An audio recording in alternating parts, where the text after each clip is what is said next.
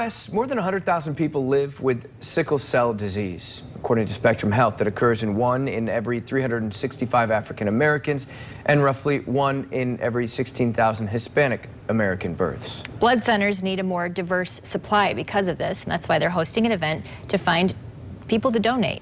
News 8's Dana White is live from the Baxter Community Center again this morning. Dana, when is this happening?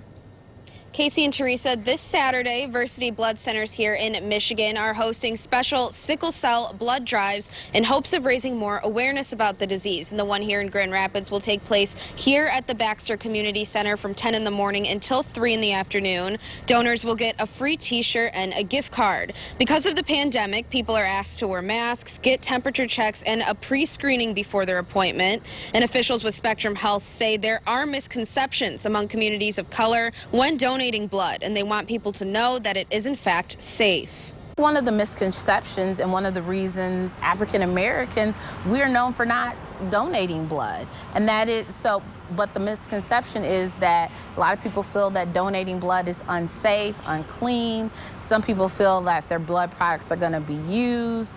Um, they're afraid that there's going to be testing and um, other science experiments on the blood. And that is just a big misconception. Now, if you would like to sign up to donate or for more information, we have an article on our website, woodtv.com. Reporting live in Grand Rapids this morning, Dana White, News 8.